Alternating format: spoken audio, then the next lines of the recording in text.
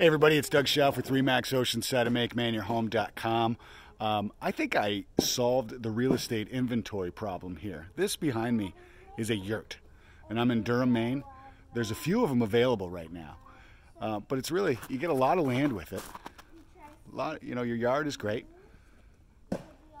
Wood pile, solar panel, full-size yurt, a spacious two-seater detached bathroom deck.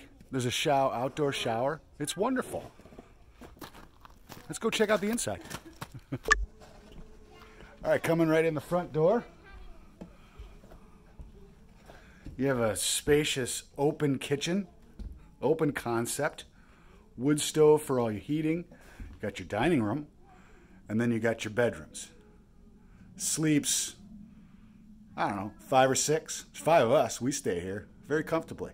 It's really fantastic, quite big actually. Get your wood pile over there.